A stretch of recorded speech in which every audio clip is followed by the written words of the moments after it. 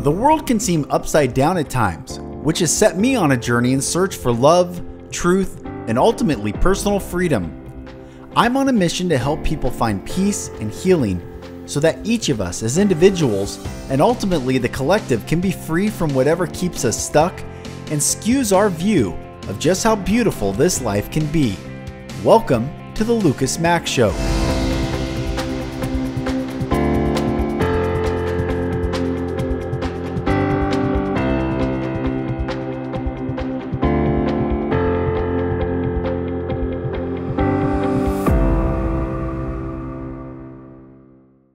Brothers and sisters, and welcome back to another episode of the Lucas Mack Show. I am Lucas Mack.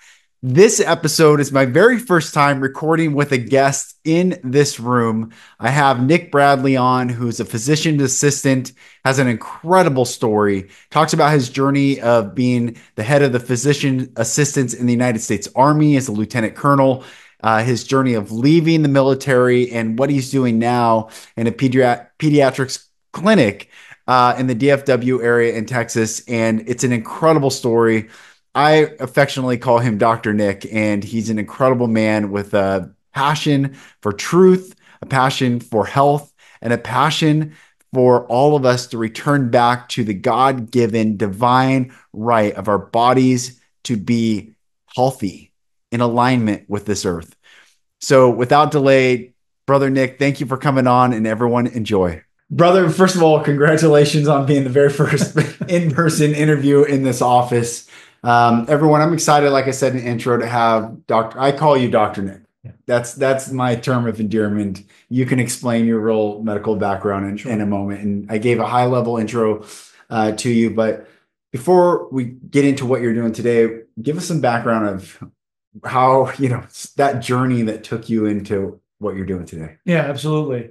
Yeah, it's it's it's it's been I think an amazing journey, mm. uh, no doubt about it. I think uh, you, you always think you come to a, a, culmination point and then some life gives you something else. But no, wait, this is the culmination. No, this is the culmination. Mm. And I, I think I feel like I'm in one of those culmination moments. You know, I mean, meeting you, yeah, Aaron, yeah, uh, just the brothers we've met out here, yes. and what brought us all here from that background has been absolutely amazing. So I, I think, you know, going back in my life, I think it starts prior to military service, mm. just kind of because that's where I think I started developing those culmination moments. Like, okay, this is it. I've arrived. Yeah.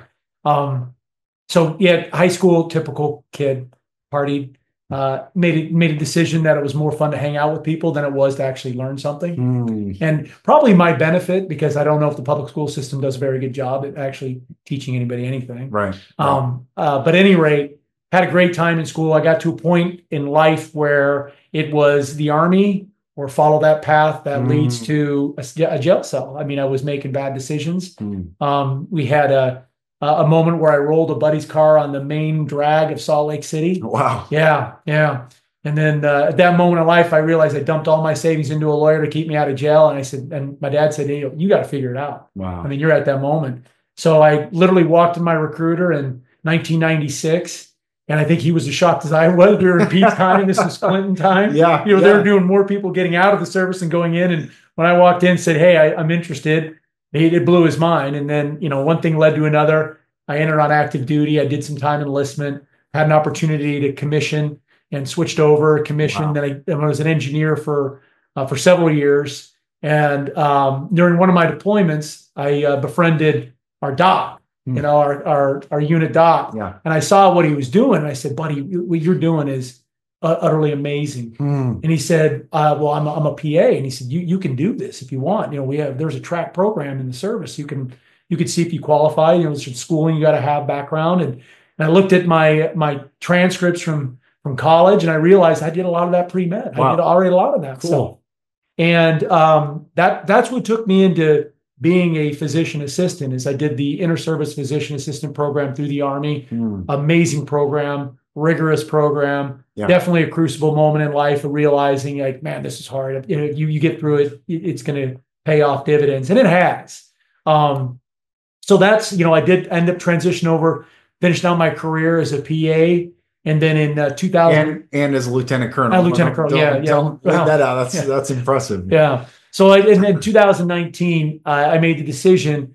I told my wife. I always told my wife that you know if I'm if I wake up in the morning and I and I don't feel it, then it's time to go. Mm. And you know, all throughout my career, I never felt that. I, I felt like we have a mission, we have a job, Yeah. and I think you know the deployments, the time, and and the the lack of fruit, all of that bore. In the end, just kind of wore me down. I said, you know, one morning I got up and said, I, I don't, I don't know if I can do this anymore. Mm. And I gave it some time. And at the time, I was chief of a clinic in Alaska, and um, and and I decided I'm gonna I'm gonna I'm gonna submit my retirement. And I was early, you know, I was early in my promotion, lieutenant colonel.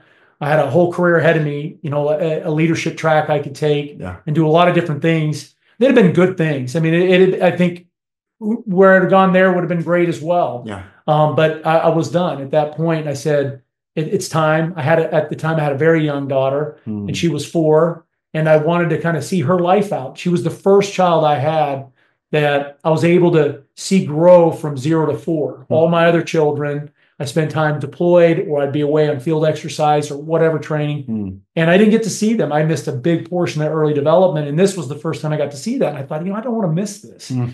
i'm done missing out on my daughters my kids Yeah. uh, development Yeah. and so I decided I submitted my retirement. This so happened to coincide, you know, the year before COVID happened. Timing couldn't have been even more perfect, in my opinion, because what my brothers went through during that time is something fierce. Um, but at any rate, uh, retired out, and then uh, we built a little modest kind of quasi homestead in Alaska. I started doing some urgent care work all through the the the, the quote unquote pandemic, um, and then really transition i think you know i want to go back a little bit and I, in 2018 in my career because i think this is going to kind of feed into some stuff we talk about but in 2018 i had a paradigm shift in terms of medicine and i read a book it was called uh, nutrition and physical degeneration by dr weston price old book um, and in that book it kind of opened my eyes to the idea of disease and what disease really is Mm. and at the same time, I think it was almost like a, a, a perfect moment where we had an incident happen with vaccination with a soldier that opened my paradigm in vaccines. And, and that kind of shifted a little bit of what I thought I knew. But fast forward to, to 2020, when that happened, at that time, I was transitioning out of the service, working in urgent care. And I wasn't seeing this what everybody else was seeing. It didn't make sense to me Yeah. and I was seeing it front front lines, you know, in an urgent care center in downtown Anchorage. Um, wasn't seeing what we were being told we were seeing. Right. What was happening wasn't Right. what I've seen happening. During So- that time, just to interject, during that time, I was in Seattle and the news is just making it like, you know, because we were at ground zero of the Evergreen Hospital in Kirkland, and I was actually in Bellevue. We were living there. They were making it sound like, you know, bodies are dropping everywhere. Right. So I drove to Overlake Hospital, the largest hospital on the east side of, there was no one, but they had the signage for lines and they had zero, Right. zero people. That's right. I was like, That's right. what? Yeah, that's right. They did, uh, and, I, and I saw it with the hospital. Same thing. Hmm. Same thing. Firsthand. Yeah. Yeah, absolutely. Um, so at any rate, I, I decided to go back to school. Hmm. And in 2020, I had uh, fortunately had a job where, um, you know, in urgent care, you work if work is there. You know, Right. pa- patients are coming in. We didn't have any coming in. I mean, no, nobody, nobody's lining up out the doors. Right. Um, and then most of our clinics shut down because out of caution, we had to protect the workforce. Right. But uh, you know, I stayed working, um, so I had time to read and really, really expand my mind into medicine. Hmm. And um, I was introduced to a, a lot of members that are now part of the, supposed health freedom movement. Um, but they they were at least a, a critical piece of that of that development and that growth for me during that time frame. Hmm. Um, so you know, at that time I was shifting away from just that modern thinking of of medicine, you know, a modern approach. You know, disease, medicine, disease, medicine, Right. disease, medicine. Um, and it didn't it didn't make sense, and I never saw any value in that. And really, looking back in my career, the the stuff that had value is the stuff that we got to change. You know, in acute care, trauma medicine, we got to change something. We got to affect something right there. Got to Right. stop a bleed. Right. Right. Save a life. You know, we got to reset a bone Right. you know you know these, these things these things affect change when people came to you and said i'm sick i don't feel right something's going on medicine Right. here's your medicine i didn't, didn't do anything you know looking back it's like man i just wasted my time i was Right. spinning my wheels so you know I, I ended up kind of transitioning out i found an opportunity to work with a small clinic that did you know what they called integrated medicine Mhm. um, and uh, you know functional what they call uh, they put labels on it all day uh, so I, I basically was self-study i felt like i was going through my phd Hmm. from 2020 up to 2022 right around the midpoint there when I finally landed a uh, an opportunity to start really working with patients and figuring out what the crux of the problem was. Really, what was making you ill?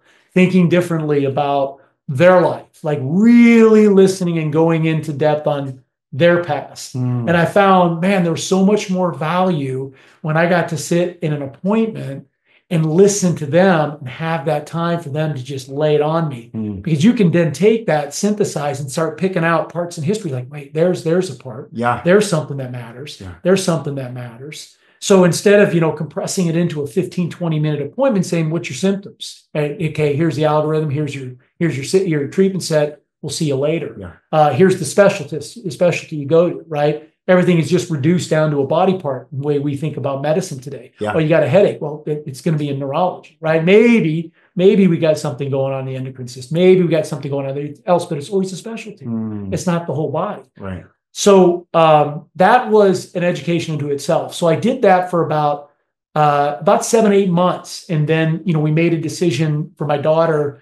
Uh, we wanted to give her a better education opportunity than we had going on in Alaska, and understanding. You know, we pulled my daughter out of the system, Yeah. and we started homeschooling in 2020, and we've been doing that ever since. You know, my daughter is a, a social butterfly, Mm. and you take a social butterfly, you pull her from Yeah. the population, you Yeah. throw her in confinement, not a place to watch her blossom. Mm. And as well, as well as she did, and as educated she wa- uh, was getting, uh, she just wasn't blossoming. She missed that interaction, that social interaction. So Yeah. I thought, well, can't I'm not going to go back into the system. So we got to find something better because Alaska just didn't have that opportunity. So Yeah. we had to give up our homestead, and I thought that was the be all end all for Nick Bradley. I thought we'd settle out in Alaska.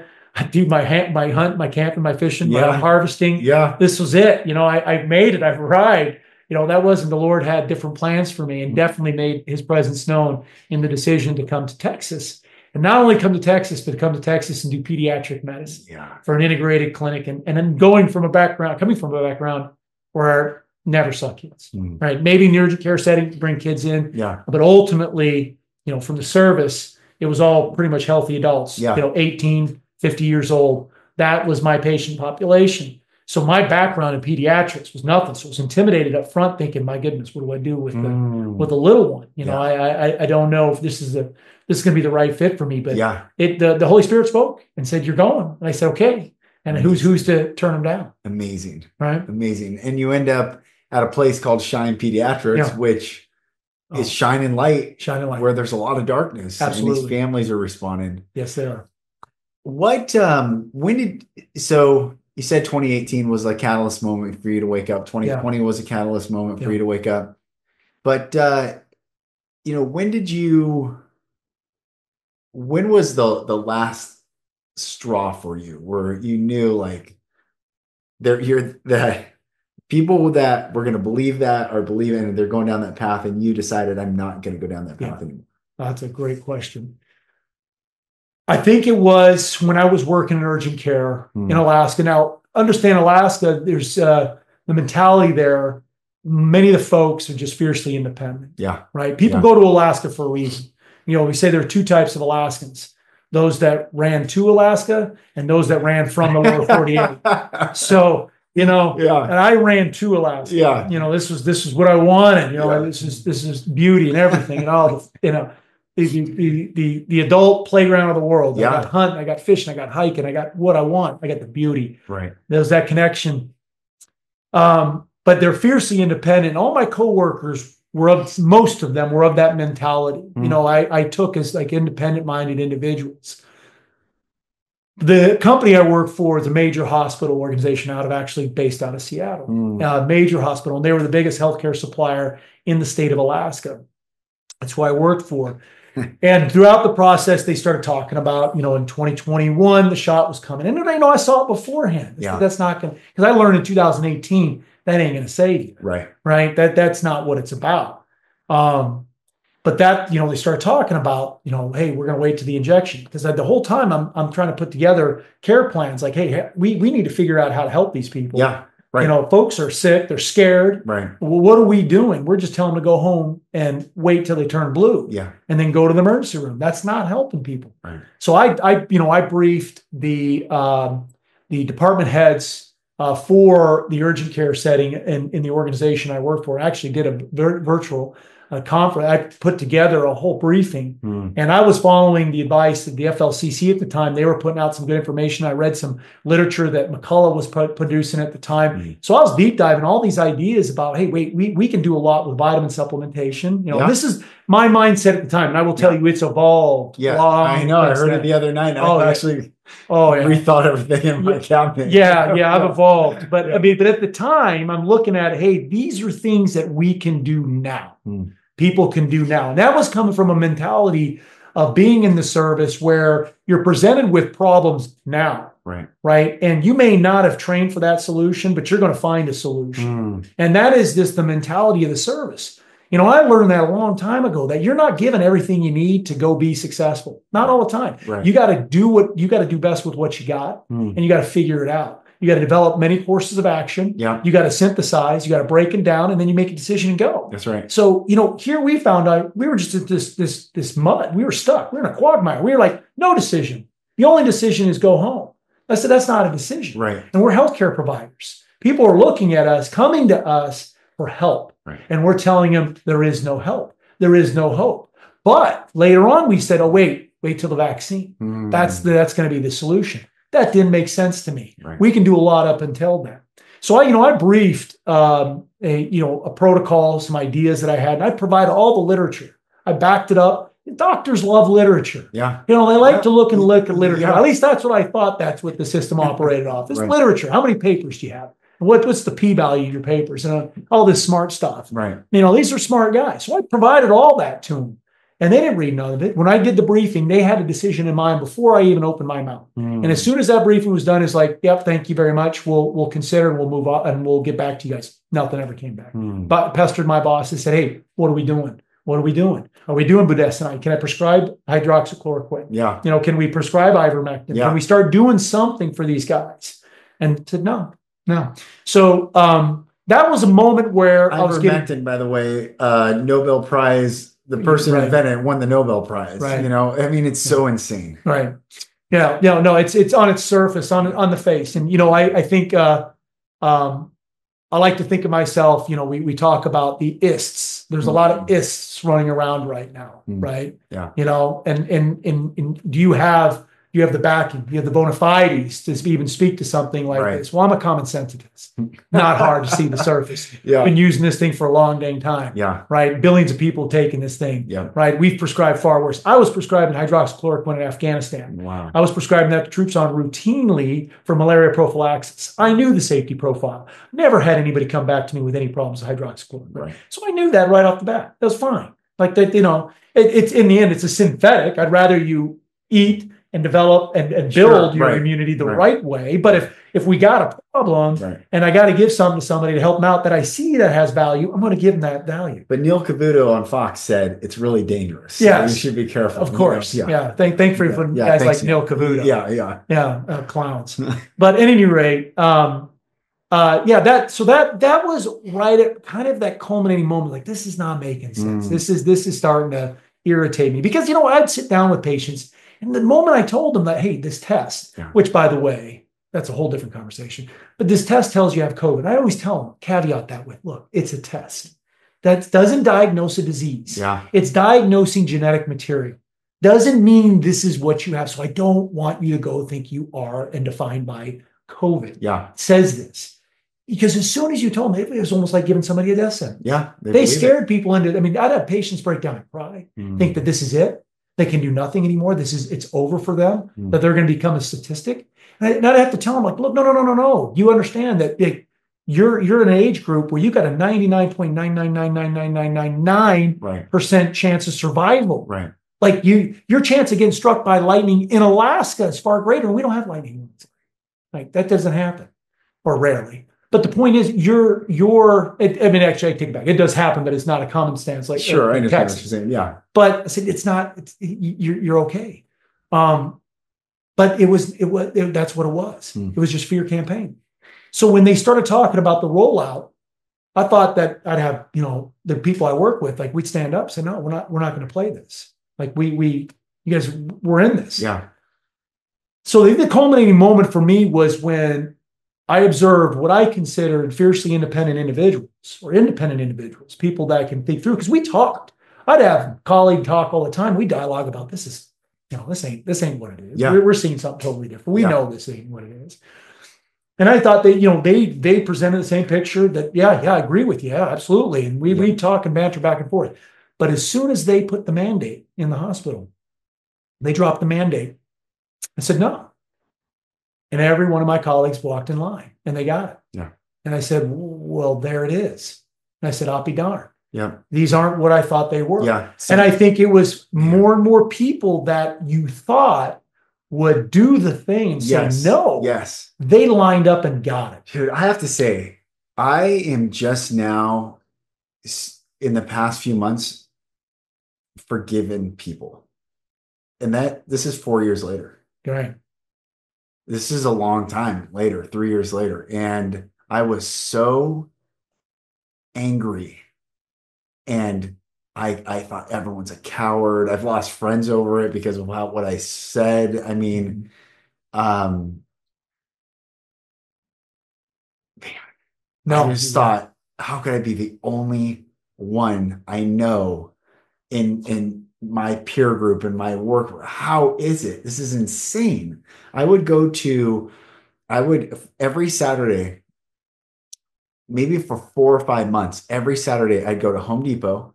I'd stand outside and I would see if anyone would enter Home Depot without a mask. Just a mask. I'm going to talk about the shot. Just a mask. and I'd see these massive, you know, big construction, butt kicking looking dudes, Mhm. Carhartt, tough. They walk out of, they get out of their truck. They walk. So I'm leaning up against one of the posts, you know, before you go into the store, and I just watch people for hours because there's nothing else really to do at the time, you know. So I'd go to Home Depot and watch, see these big men, and I'm like, I get so excited. Guy's coming 20 feet from the door, no mask on, and goes in his pocket and puts it on. So I would follow these men without a mask into the store, walk all around. No one would ever say a thing to me. And then I'd walk out and I thought, how am I the only the only one? I'm not exaggerating. I never saw someone without a mask on except a blonde woman the month we moved from Seattle to Texas.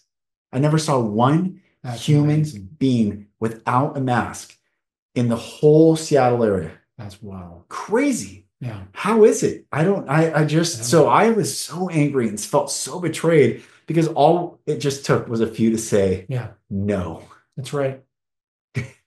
no. and that's where I get really fired up. No. But no one else would do it. And you can't be one voice. I mean, you can be one voice, Yeah. Yeah. but you're not going to make a lot of change just with one voice. No, and, and and not only that, it's a lonely path. It certainly is. And that and it's I, a lonely life. yeah, it's yeah. a it's a lonely path. yeah, yeah. because you know you you you bring up you know when I when that happened and I saw that and then you know at that point you know they they they had excuse I'd ask them I, I'd put them on the line I said why why'd you do it yeah. why'd you do that and you know they, they'd have, they'd have an excuse well you know I got to make them well I'm I'm still here Yeah. I've been fired. Yeah, same. I'm they're not they you know they're not you know they they you know they came after and said you got to submit you know your religious exemption they were firing people Yeah. they wouldn't fire me so I wrote a letter to the Mm. CEO of this hospital organization and I fired it to his email.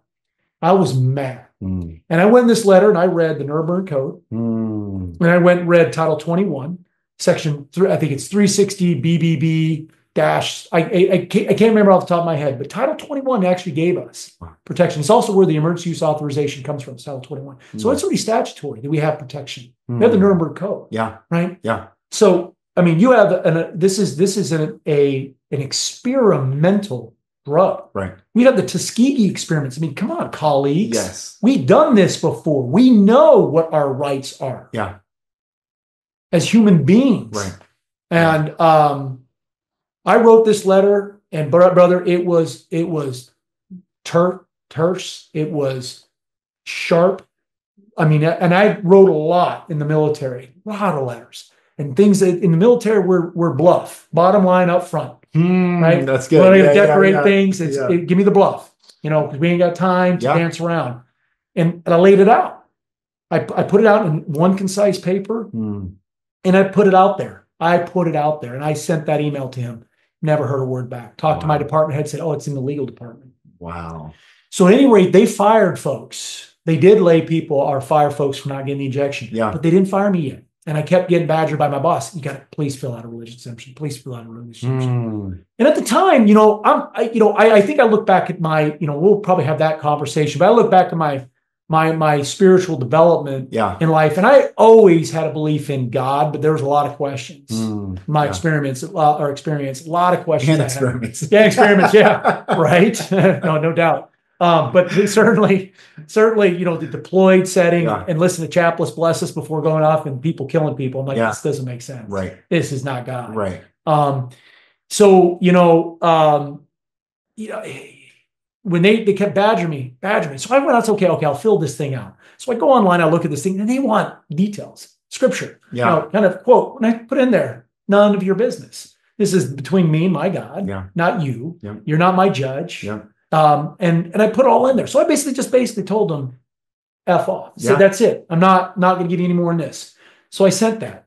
And lo and behold, I get word back a couple weeks later from my my media boss, who, by the way, I got along with real well. Mhm. You know, she was ultra liberal, but she loved how I worked, and we got we we hit it off when I first started there. So she had kind of a liking towards me, Yeah. and I think you know it could have been different if she didn't like me, but she she did. Um, but she comes back and goes, Nick, I'm I'm uh, you got to accept. You're good to go. They, they're not gonna they're they're gonna they accepted your religious exemption. Wow. I mean, this is after I know people that got fired. And I said, no, no, I didn't, that's not, you know, no. And I was, I knew at that moment I'm done. And that, that I think you, the long answer to your question Mhm, on mhm. that was the straw that Yeah. going through that experience with my colleagues. Because at that point, you know, we didn't have that relationship no more. Mm. And, you know, I like to think, I like to tell myself I did then that was them. You know, they, they're the ones that turned their back on me. Mm. No, it wasn't. It was Mhm. me. Yeah. It was because I said you gave in, Yeah. and deep inside of me, I didn't want any part of that, That's right. and I didn't want that connection with you no more. Yeah. Because when it mattered, you weren't there. Yeah, you weren't there. You weren't there. So um, at that point, I knew my time was done, and I quit the job. And at that at that moment when I quit that job, I had no job lined up. I hadn't interviewed for a job, hadn't even looked around for nothing. Mm. Literally just threw it out there, and I said, "You got my notice. I'm out in two weeks." Wow. And I said, "That's that's it. I can't stay here." I got to share a story real quick, just interject. It, when I was in sixth grade, I was at a movie theaters. I grew up in this town where there's just a two theater movie theater, Mhm. a little tiny two screens. And I'm with a buddy that was on my baseball team. He was in fifth grade. I was in sixth grade. We come out of the movies, and these two eighth grade uh, grew up next to Indian reservation, and the Indian reservation, they, those guys would always fight the white kids, and they would jump, and there was always fights. Right. So these three native guys come up and two eighth graders, and they're big. And they said they're in eighth grade, but they're probably in high school in the actual grade of eighth grade. You know, these are probably 17 year olds in eighth grade, if you know what I'm saying. These are big kids. And uh, there's a six little kid, sixth grader, they said, and they and I'm with the, my buddy, and they come up and they start pushing me, and they just pick on me. And they're and I'm like, I'm gonna get jumped right now by these guys. They're like, you think you can fight him? You think you can fight him? I'm like, I don't want to fight him because if I fought that that kid, they were gonna jump up Mhm. and get me. So I look around and my buddy ran off. He wasn't even around. I don't even know what he he was literally right behind me. And when I looked, I was the only one there. And I was never friends with that guy after that day. But also a cool story is they were looking at me, and I don't know what happened to this day. I have no idea. But they these eighth graders looked at me and they stopped in their tracks and they go, This kid's sick, let's get out of here. And they walked away and left me alone. And I was by myself and I had to walk home a couple miles. And I just shared that story. Someone said maybe they saw your angels. I don't know, but they said Mm. this kid's sick. Let's get out of here. Mm. And uh, anyway, I only just share that story is, you know, you think your buddy's there with you when you know when stuff goes down. Yeah. And look, Gone. when, when did you leave? I don't even know, but Right. you were never there. Right. Yeah. No, no yeah. I doubt. just had to share that story. No, no, I think that that it, it- it's it is exactly right when it matters most. Yeah. that's Right? when it matters most. Yeah. And it can be as little as I mean a fight, right? I mean it, something as innocuous as, Yeah. as that you're getting Right. picked up.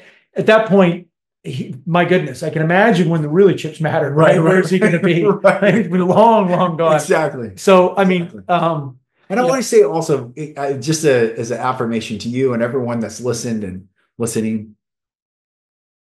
One of the things, you know, I think we grow up as kids and we see these, we read the hero stories and we watch the movies, and Mhm. and I always was like, am I that person? I, I you know, you uh, you deployed in combat, you know who you are because you're put in that ultimate test. But most people were never put in that ultimate test. I certainly had, and I had in the abuse in that intensity, but that was something that was like an interpersonal battle that I had. But man, I really am the person that I hoped I would be because I literally said no to everyone and everything. And I was so proud of myself after, like, yeah, dude, I am the person. I, you know, I don't know in a really beautiful way. There, that's one of the biggest silver linings that came out of it is, you know, when I I was sh- shaking this desk, you know, I'm in Seattle and I get selected for jury duty and and there's 40 people on the call. We're on a Zoom call and the judge has a mask on on the Zoom call and it's crazy. And and he said, if you're selected, you have to come in person and uh, we require everyone to wear a Mhm. mask. Does anyone have an issue with that? Again, some big looking, strong, masculine looking dudes, like beards like yours, you know. Mhm. Mine was a little thinner at the time. I I mean, guys, I'm like, I'm the only one that raised my hand. And the judge goes, Well, what what problem do you have wearing a mask? And I said, I don't believe in them. I've never worn one and I will not wear one. when I said I will not wear one, you could feel just even through that Zoom call. He leaned in Yeah. and he's dead eyed on me. And he goes, What if I order you to? And in that moment, my leg's shaking. You know, he can't see me mm-hmm. because I, I put my desk in standing mode so I Yeah. can at least get the energy out and I'm not sitting there. But my leg's shaking. And I break eye contact. I think I might have shared this the other night, but I break eye contact just so it wasn't looking like he and I are like locked in because it Mhm. wasn't going to be a pissy match match like that. But I moved my head down, looked back up at him and said, I don't want to break the law, but I do not believe in them and I will not wear one. And he said, I'll take note of that. And man, that was one of the scariest moments I've had to go through. yeah, And I did it. And I'm freaking proud of myself. So I'm proud of you. I'm proud of all these people. What a what an honorable experience that we got to have for ourselves to walk through this journey. No, so I just want to affirm you in that to say, no, I'm out of here. yeah. You can pack it where the sun don't shine. Well, I, I you know, I, I think that I, you know, I told my son, you know, we we we talk about when when when do we become men, right? Hmm. 26 years of age, apparently your prefrontal cortex is set, so you're, you're an adult at that point. yeah, You- yeah. You're a man. As soon as you know you, you're you're born, your gender's affirmed. You're right, You know, right, right. you know, you, you think about these things, and I, I look over my career, and I, I think, man, I you know, I've had a lot of moments in my career where I wasn't proud of myself. Hmm. I didn't look at myself and say, man, I'm. I can look in the mirror and say, thank you know, good job, Nick. You did you did Mhm. great. I mean, in, in my life, Yeah. you know, yeah. my going back to high school and and and you know, rolling that vehicle on State Street. Mm. I came from that where I didn't want to fess up to it, man. We didn't. Nobody told the cops what happened that night. I was scared. Yeah. You know, I was scared. Yeah. So they got me on a false statement because I didn't tell them I was driving that night, and certainly, you know, percent of the influence. I mean, it was a bad. It was bad decisions I made as a kid.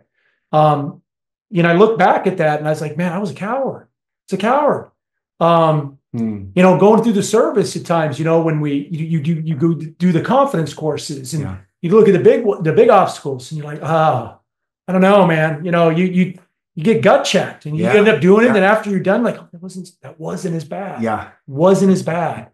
And you know, you build up. And I think that my life, I look at my life, it was a build up to becoming a man. Hmm. Because when you're faced with something that takes your livelihood away from you and you don't be you're not afraid of that That's right. that's the moment that I think defines us. Um, and I, you know, I sit there and I think, because I lost a lot of brothers in the service. I don't talk to anybody in the service no more Wow. because they gave in. Yeah. But I don't know what I would have done. I, I'd like to think I'd have done the same thing. Hmm. You know, I got brothers that were 16, 17, 18 years into a career, and you got that retirement lean over. You've Yeah. put that much time in, and they're telling you, we'll, we'll kick you to the curb. You know, and, and really, they have no legal standing to do it. None. Right. And we're learning that, and Right. we learn that. Right. You know, we have, they have protection, Right. but they'll scare you into that, and then they'll they'll pull other maneuvers like you can't take leave. Hmm. We're not going to allow you to transition out of this installation and go to a new one. So you'd be miserable, stuck in an installation you don't like. Right. And they'll say we're not going to move you. you're going to be withheld from promotion until you make that decision to do it. There's all these other factors they can do to put the screws to you Mm. when you're in the service. So my brothers that gave in and did it, right? Um, I don't know if I blame them entirely for doing that. Yeah. And I don't know what I would have done. I like to think I'd have done the same thing because I knew it was wrong. Yeah. I knew it was wrong. You know, whether or not it worked or not at the time didn't matter. Mm. Doesn't matter. That's not the argument. Right. It's when you don't give an individual a choice, and especially a choice to what to do with their own body. That's right. And that and that right there, you've you've already breached Yeah. that that comp that level of of of trust. Mm. Um, and I don't know. I don't know. I, I and I think though I look back and I'm proud. I am. Yeah. I'm definitely. I'm glad. You know, I came out roses where I'm at today. It's it's been a blessing. Yes. Uh, no doubt about it. Um, but I lost a lot of friends. I don't. You know, my my phone shrunk in terms of going on contact lists. Yeah. I've kind of eliminated some over time. Just Yeah. don't talk to nobody anymore. And it's what it is, you know. And I've met new brothers. And, Yeah. and it's like it's it's a new chapter in life. And I Yes. think that you know I still think we're in a culmination. You know, we're at a moment in time where still people believe that we've already passed the fork in the road. I disagree. Yeah. That fork is there. Yeah. And we're still having to make that choice. Yes. Um, and I think that, you know, the more and more people that are waking up to that and moving away from where the herd is moving, where the herd is going, um, we're going to have that change that we we seek in this world. But um, you know, it's it's it's slow rolling when you're one of a million people in Yeah. the city you live in, Yeah. and I'm one of fifty thousand people in a city I live Yeah. in. It's very, very, you know, it takes time to to to to have that awakening happening with so many folks to see what that really meant. That moment, what that moment really meant, Right. because it wasn't about an injection Right. in the end. It wasn't about the juice that went in. Now we can have a whole different conversation about that. Yeah. That's not what it's about. That was about you as a human being and the decision you make for humanity, Yeah. and what we do with ourselves, right. with our with our bodies, That's right. with our minds, That's right. right? Um, Dietrich Bonhoeffer was the last man that Adolf Hitler ordered to be executed. He was in a he was already in a camp, and he was the leading uh, Lutheran theologian in Germany. He had actually come to America during uh, the first part of the war, and they and the Americans and he, I think he met with FDR. FDR was aware that he was here. He was in New York, and a lot of them encouraged him to stay here. Don't go back. You know, right from here because he was a prolific massive thinker. He was a Hmm. really huge mind. He wrote um yeah, he has some books that are just this is a this is like a Luther of the time. mm, And um I think The Cost of Grace, he wrote this book in the concentration camp and he writes in it because at first he wasn't sure. He thought maybe he could just like play the game and but he wrote not to speak is to speak, not to act is to act. right. And I have never, ever forgotten. And that's the last man that Adolf Hitler said, that guy's voice shall be no more. That's right.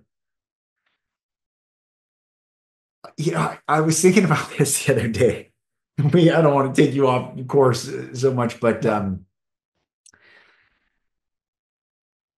you know, when when this country was founded and New Hampshire's motto was "Live free or die," I'm sure people were like, "Whoa, hey, I'm I'm all for independence."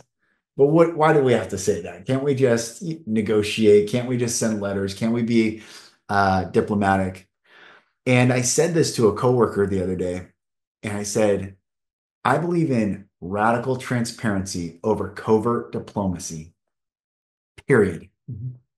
Radical transparency over covert diplomacy. And I think those are the two camps Mhm. radical transparency or Right. negotiate, weasel, move around. And that's ultimately, I think,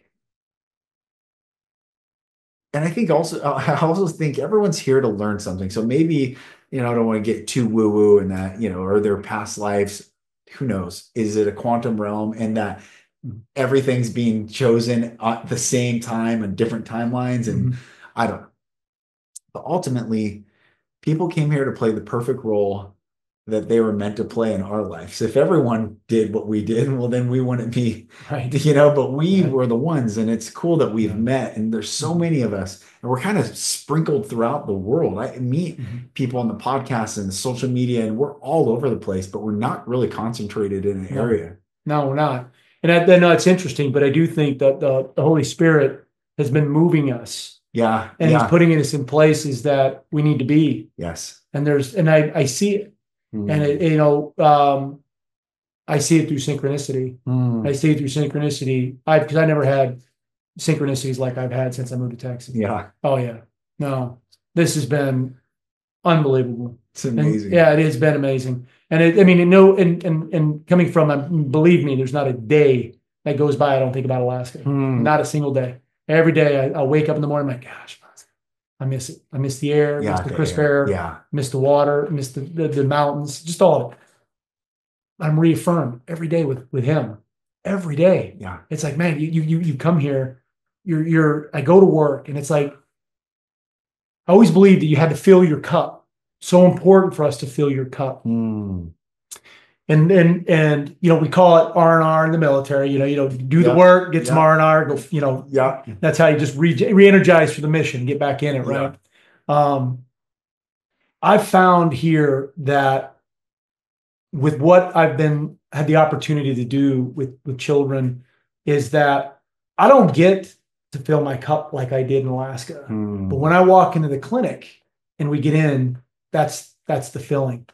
And I think going back to your point, talking about authenticity, transparency, Yeah.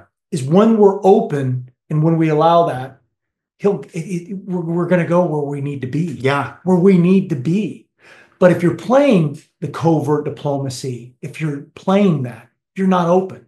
Right. You're not open to receive Yeah. what where we need to be. Right. So eventually it will. I do believe Hmm. that there's going to be a paradigm shift. And Yes. we're we're where we're going to see more and more brothers and sisters that are among us that that that are that are of like-minded that that you know uh, that are full of love and and and and what really matters in this world. Because this is an experience we get Yes. we get this experience in this vessel. Yes. let's enjoy this. Let's let's connect with each other. Let's let's learn things. Right. instead we're locked into a competitive state yeah. where we're competing with each other And that we're buying yeah, Yeah, this yeah. this mentality of there's no abundance it's scarcity and understand or you're not an economic you know I, I told you about that a while back that the scarcity it's a concept of fear in the end it's the opposite polar opposite yes. of spirituality and trusting trusting what what he's provided and what he continues to provide Mm. it's like every time we think it's oh it's going to end oh it ain't Right. it's going to be this. You know, it's funny. You know, I drive to work every day, and it's always you turn on something. It's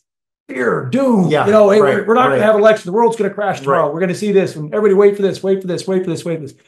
I drive to work every day. Cars driving. I see Yeah. cars driving every every day. I'm stuck in the same traffic. Everybody going to the same jobs, doing the same things. Yeah. And I always think to myself, man, I just hope that everybody's got that purpose. Mm. I hope that you're driving to work, Mm. right? Going to doing what you want to do and what you love to do Yeah. Yeah. because I haven't had that. I didn't realize how important that is because that fills my cup. Is when you're involved and you're in and you're doing something you truly love and is meaningful. And I see it in the every day. I connect with patients, the mothers and the fathers, and when they come there and they find what we're doing, and they, it's just like, man, you know, this is it. This is where I'm supposed to be right now. Yes. Right now. Yes. Right now. What are some of the things you're opening their eyes to? Raw milk, uh, Yeah. clean food, real food. Real food. Yeah. Brother, I tell you, you know, you talk about an evolution, right? I gone from you're sick, here's your drug. Yeah. Right. Yeah. Right. And, Yeah. and, and here, I'll save you some money. Here's your generic version of your drug. Right, Look how right. good I did today, guys. Right, I got them on a right. generic brand. Yeah. You know, um, to hey, just eat what you want, but exercise. You know, get your exercise in because that's the most important thing. Mm. yeah. Right. To, well, you know, shop on the outer layers of the grocery store, you know, and if you can't get what you need, supplement it with vitamins Mm. and and then get your exercise, Yeah. right? I mean, this is just it, what it's like reminds me of those dance evolution videos, right? Oh, the evolution yeah. of dance. Yeah. It's like the evolution of Nick Bradley's thought in health, right? Like, Yeah. Where'd you come from, man? Some archaic area. Um, But yeah, uh, so it's to now where when patients ask me, what can I do to, you know, nourish my child? What can I do for a healthy lifestyle? And I no longer tell them to go to a grocery store. Mm. I said, you know, if you need your staples, go get your staples. You know, get your pepper, get Yeah. your salt, get some of your spices. Um, but it's now you'll find your farmer or grow. Yeah. And and what we can what we start what we actually talk about, I find myself, I've evolved from talking. I mean, we talk about how to make a meal. Like I'm Mhm. talking about bringing food together and and I'm talking about farms I've met. I go out to farms, meet local farmers. I go out and meet uh, local growers, and we we build care plans around the community. Amazing. So you know when they come in and I, I say, hey, here's where you find your raw milk. Take a look. Here, here's what you can look at for that. Because I've found you know this idea. What we look at in the functional side of medicine is this casein free, dairy free, casein free, dairy free. Right. Man, we are still plugged in. Yeah. And here's your supplements, Right. right? Here's your supplements, casein free, dairy free. Here's your supplements.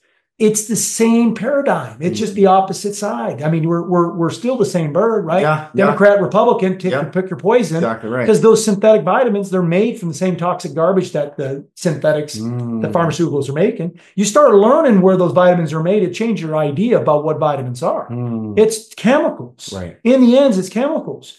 You know, when I asked a patient, I, you know, one of the things we talk about in terms of nutrition and what it means to eat real food, right? Mhm. And the simplicity and reductionism of man that we can go in and we can extract what Right. nutrient we need from that, give it to a human being, make him just as healthy, right?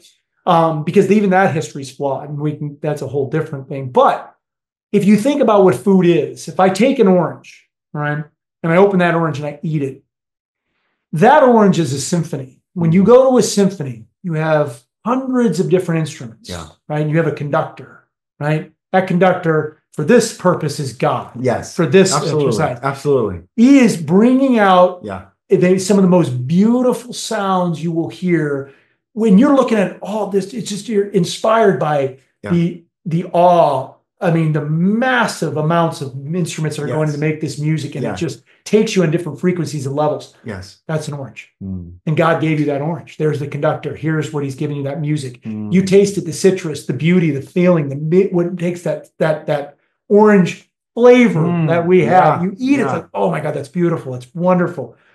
What we've decided to do is said, oh no, we can take from that. I can go to that symphony and I can take the cello, I can take the violin, Mm. I can take this piece, I can take that piece. There's your vitamin. Yeah.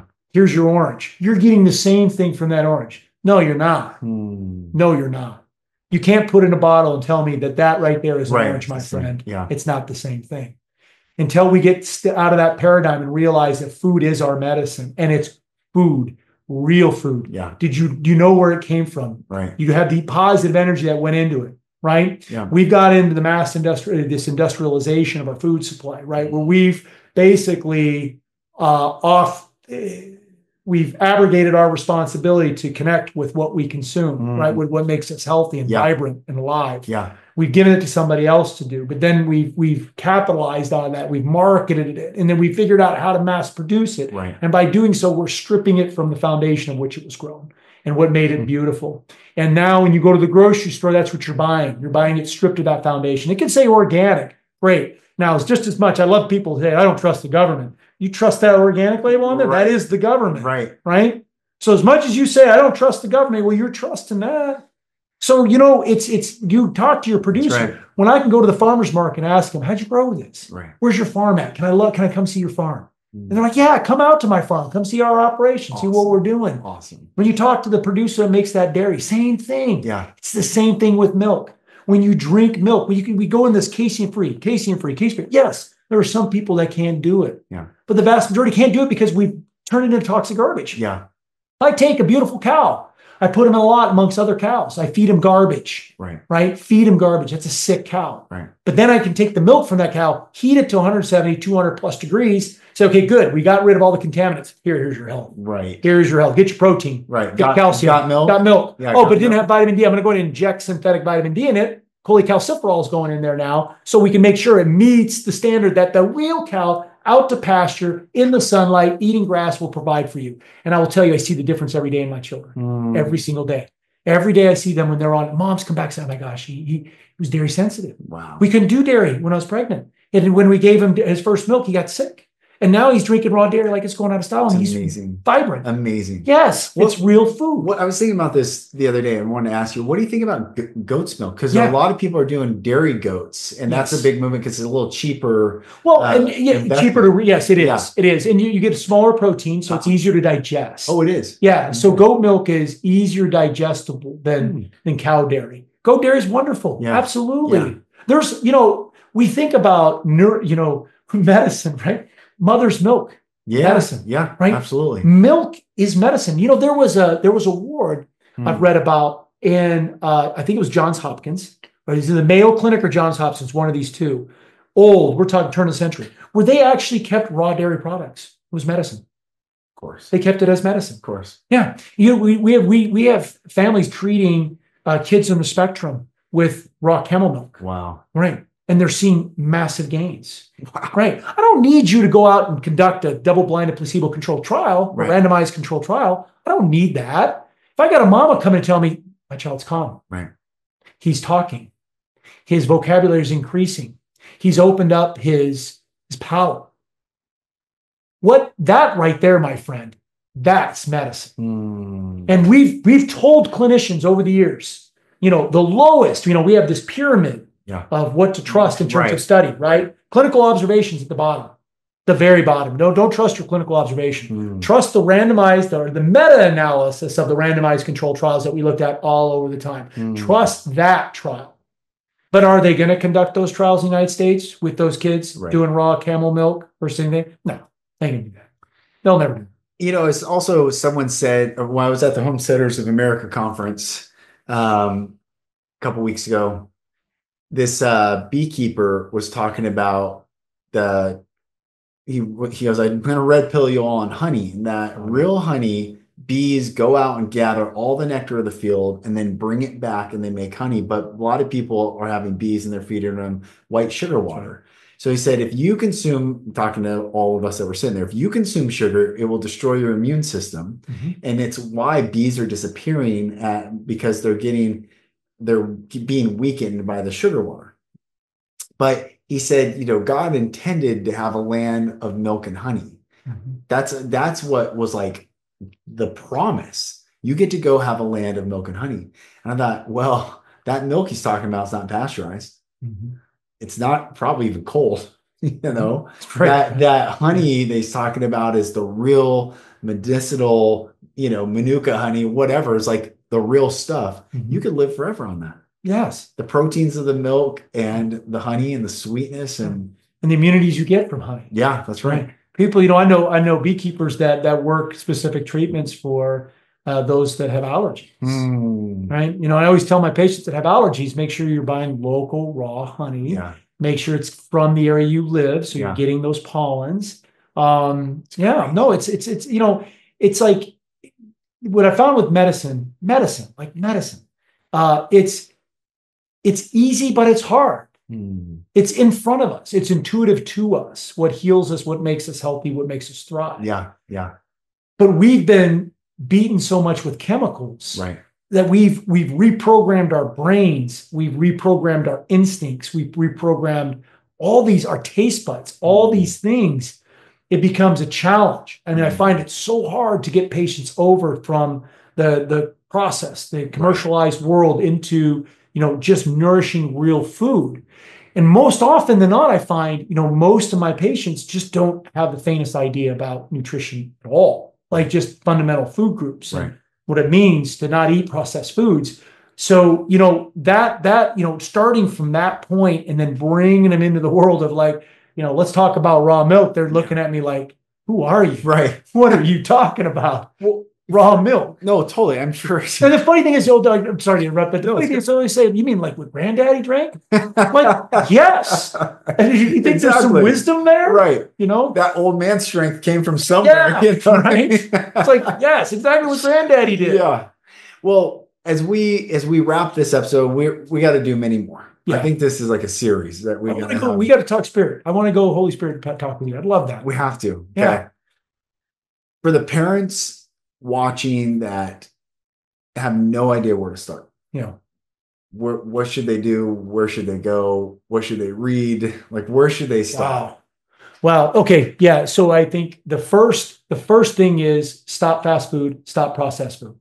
That's it. Yes. If you can make those two changes alone, process. Yes. So what I mean by processed food, if you don't know what the ingredient is, don't eat it. yeah. So if you look at the box, you read it, don't eat it if you don't know. If you don't know any of those ingredients or uh, what that is, then you shouldn't eat it. Yeah. So make it in your kitchen. Mm. Try to make it in your kitchen. There are wonderful cookbooks out there. You can do all sorts, even iterations. Like we have a cookbook that's a, a vegetarian cookbook. I'm not a vegetarian, Mm, yeah. but I love her recipes, and I just add my meat, my yeah. protein to Yeah. it. Right. Love it. So find something you like, and then and then add what you enjoy to it. But I would say the big the big takeaway would be get rid of the processed food, get rid of the Mm. fast food, correct your oils. Yeah. You got to correct what you're cooking, what you're eating in. Yeah. You got to fix your fats. Yeah. The two most important macronutrients, bar none, fat, protein. You got to fix that fat.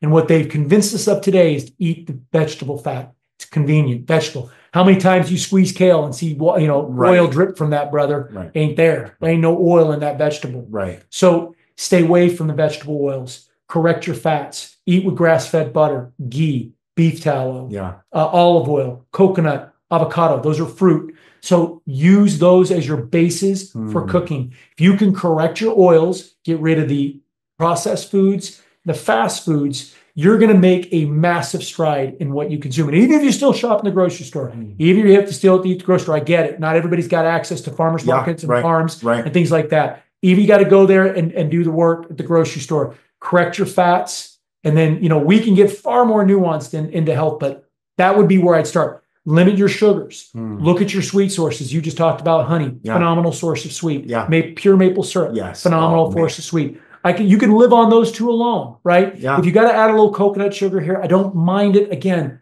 you know, the sweet component, ease up on on on the sugars. Yeah. So yeah. you don't want that, and definitely stay away from the refined stuff, the aspartames, the sucrose, the the Right. the, the high fructose corn syrups. Stay away, far away from those. Mm. Um, but those would be, I think, the modest things to start right there. And you'll find just eliminating your fast food is one of the hardest things, hardest feats they'll have. Yeah. That's right. Just getting rid of the fast food. Detox and all Yeah, you're going to. built De- oh, yeah, absolutely. Yeah. And if you, you know, I would say go go read the in- ingredients, guys. Don't just eat without reading the ingredients. You got to become an informed consumer in everything, right? We like to be informed. We like to think. We like to know. Yeah. I mean, everybody was on a big up and all like, what's in the injections? right. Well, buddy, if you're not even asking about what's in your bread, Right. you know, what do you care what's in the injections? Because you're already putting crap in your body Great that's going to do just as much damage to your body in the long run. Great point. 444. I look at my phone. Um, synchronicity. I used to ask people I, when I give keynote talks, I said, How many of you would call yourself a good person? Raise your hand. Every, every hand went up. I said, What makes you a good person? Because you don't kill, you don't steal, you don't do horrific things. That doesn't make you a good person. That's just a baseline. Right? It makes you a human being. That's just that's just you came out of the womb. yeah. You know, Right. what makes you a good person is what you do. Mhm. And I think what you're saying is we have to cease the bad, but that just gets you back to a baseline Yes. and then start consuming that good. Yeah. Yeah. Yeah. No, no doubt about it. Because I Yeah. think when you when you get involved with what goes in you, you'll be amazed at what comes out of you and Mm. the thoughts it radiates and the feelings you have. Like the connections I make with farmers, you know, growing my garden, Yeah. tending my chickens, doing my thing. Like there's there's something so magical, so spiritual to that that you take on an energy of that food. You feel that energy. I mean, I think it's real. It's absolutely real.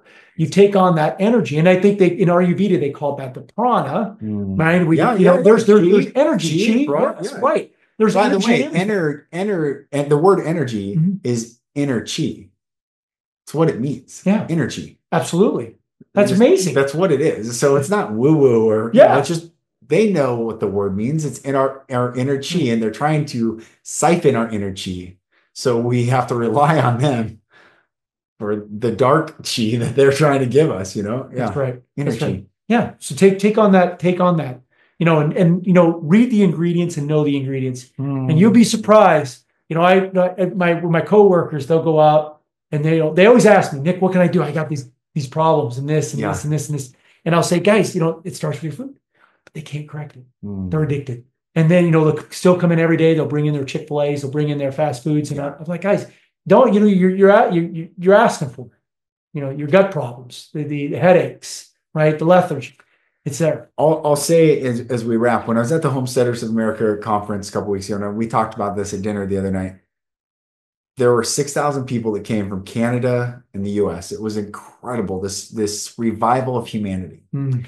Talking about processing rabbits and chickens and, and raw milk. And I mean, it was exactly what you're talking about. People are waking up. And I saw very few. I counted, I didn't count more than 10. I think it was eight out of 6,000 overweight people. Mm. People, they look like European. When I was in Europe, I didn't see Mhm. any overweight Right. people. Right. And that's not exaggeration. I saw zero overweight people all throughout Amsterdam and Paris because they, I had an agriculture executive tell me that they would go full organic in Europe if it wouldn't mean that people would starve. That's how far Europe is caring about their food and what they're putting in their body. Mhm. And in the States, we're just lost, but people are waking up is my, as an Mhm. encouraging point at the Homesteaders of America conference. I saw people are treating this vessel as the honorable vessel of God's spirit as it should be. Um, so brother, I love you. We got to do more of Yeah, these. And this is, this is so good. Yeah. Um, everyone, I'm going to put Dr. Nick's information in the show notes. So you got to check him out and reach out to him if you got questions. And this is one of many. Yeah. Absolutely, I love you, brother. Thank you, man. Thank you. All This right. Thanks. Well, I will put Nick's uh, info in the show notes. Thank you again, brother, for coming on. That was amazing. I can't wait for our part two. Everyone, I send you so much love. Wherever you are, whatever you're going through, there's a lot of energy moving around.